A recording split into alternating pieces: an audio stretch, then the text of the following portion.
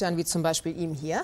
Der Commodore 64 war Anfang der 80er eine echte Technikrevolution. Dabei hatte der Computersaurier nicht mal eine Festplatte, sondern nur so eine Art Kassettenlaufwerk. Aber die Spiele, die man damit spielen konnten, konnte, die machten so manches 80er Jahre Kinderzimmer zum begehrten Treffpunkt für Freunde und Klassenkameraden.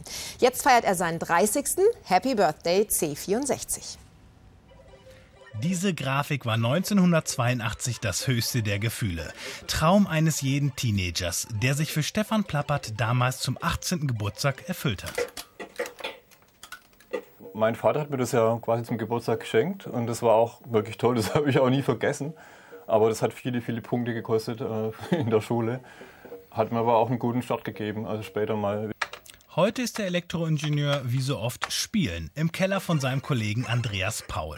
Der sammelt alte Computer und hatte auch als allererstes den bis heute meistverkauftesten Computer aller Zeiten, einen Commodore C64. Jeder, der einen Computer hatte, den man kannte, der hatte so einen und da war klar, es konnte nur der eine sein. Es musste ein C64 sein.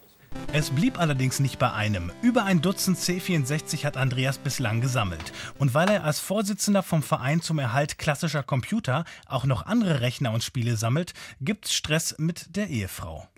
Sie akzeptiert es, ähm, sie versteht es auch, aber ganz nachvollziehen kann sie es nicht immer.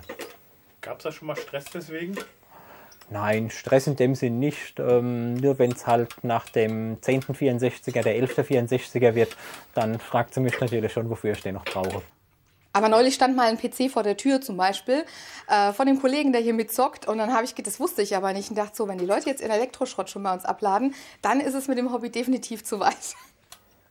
Stellt sich die Frage, warum die beiden Jungs eigentlich so an ihren veralteten Kisten hängen weil es uns mehr Spaß macht, als jetzt ein ganz modernes PC-Spiel zu spielen, was zwar eine bessere Grafik hat, aber der Spielwitz dafür auf der Strecke bleibt. Es ist einfach reduziert aufs Wesentliche. Das, was wirklich Spaß macht am Spiel, das ist einfach noch da geblieben. Der Rest ist eigentlich uninteressant. Mittlerweile ist auch Stefan verheiratet, obwohl er doch sonst nur Augen für seinen C64 hatte. Das war auch eine Art von Liebe und die haben wir halt äh, nicht verraten, aber wir haben natürlich uns weiterentwickelt, sage ich jetzt mal. Die beiden Elektroingenieure wollen aber auch in Zukunft ihrem C64 treu bleiben, damit er nicht in Vergessenheit gerät. Gary aus dem Tierheim Offenbach, der ist schon ein etwas älterer Pudelherr. Er ist von seinem Vorbesitzer nicht besonders gut